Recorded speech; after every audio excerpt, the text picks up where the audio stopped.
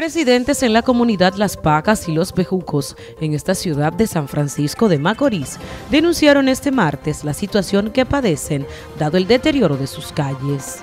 Yo le pido al gobernador que venga a condolerse de esto aquí, porque estamos perdidos con esto aquí, ¿te oye? Es aficiado que estamos con ese polvo, vea cómo está eso todo blanquito ahí, de esa vaina. Uno vive ahogado Mire, vea cómo vivo. Yo ahí en ese rancho, ahí, vea, que ahí es que yo vivo. ¿Te oye? Y las mujeres enfermas ahí, y, ese pueblo la mata, acaba de matar.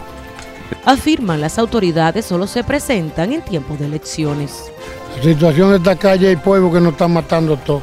Cuando esta gente infeliz se vea como está, vea, enfermo, aquí no se le quite una gripe a la gente y una tos que no se duerme. Las casas están que usted la trapea ahora y ahorita ya aparece cemento que le tiran el pollo. Eso es lo último, nosotros no tenemos doliente a nadie. Aquí no más vienen cuando hay votos, seis reuniones y hacer caminatas y a visitar gente y quedando mano a mano, sin, andar buscando nada, vea cómo está esto para ir. Ay, sí, desde que vinieron y la dañaron, lo que le hicieron fue que le tiran este polvazo. Que no hay quien lo aguante, estamos todos enfermos.